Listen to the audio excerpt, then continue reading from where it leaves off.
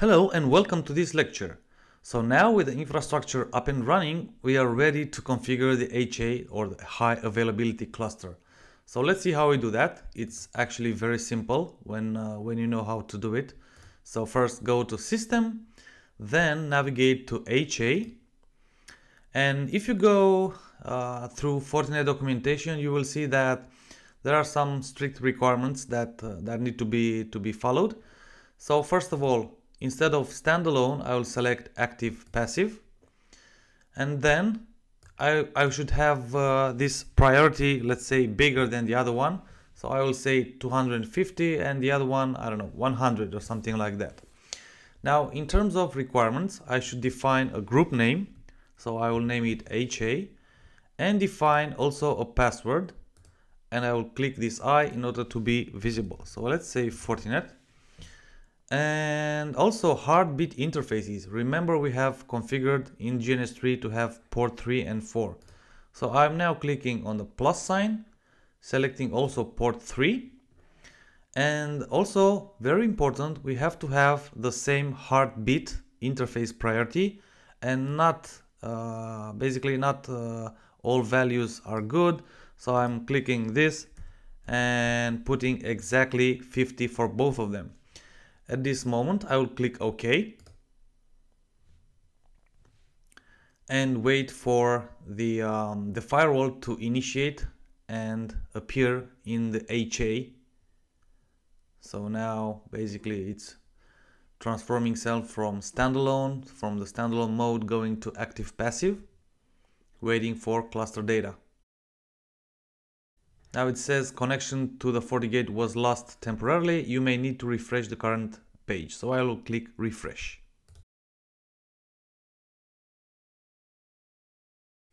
And here it is, our first Fortinet firewall, the FortiGate VM64 in this case, uh, with a priority of 250. This is the host name, very important.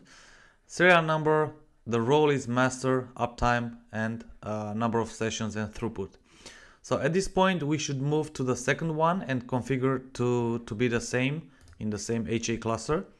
So if I ping now 192.168.100.253, it will respond. So this is the second FortiGate.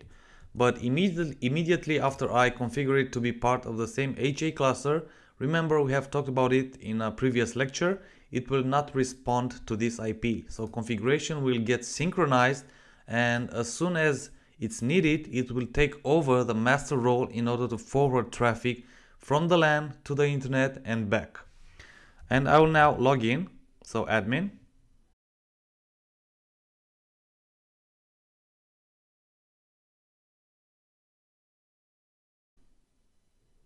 So here is the interface. We will now navigate to system,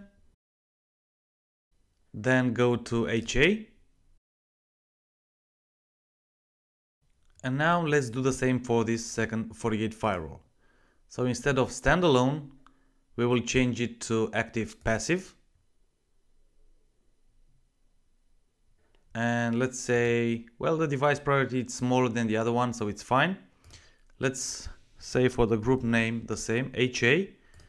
Change the password to be the same. Again, I have used the eye to see that I'm typing correctly, so Fortinet add another heartbeat interface here.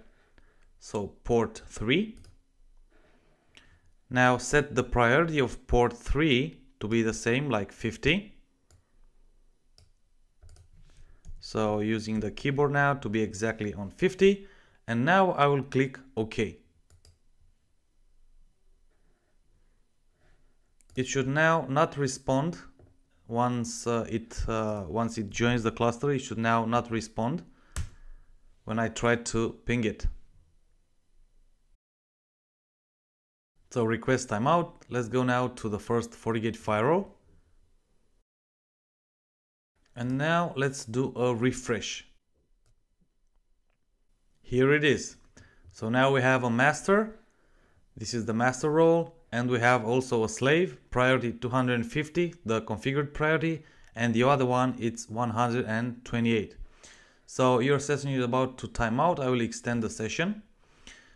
So again, so we have the, the green tick 250, this is the priority, the other default one 128, 48.1 the host name and 48.2 and these host names are very important as in the next lecture we will do the failover. So I will power off the first FortiGate in order for the uh, for the traffic to go through FortiGate 2 and again this uh, these host names will be handy because we will see here when connecting to this IP address so 254 that it will say FortiGate 2 meaning that the second FortiGate will take over the master role and forward traffic uh, to the internet and back uh, of the LAN users. So thank you for your time and see you in the next lecture.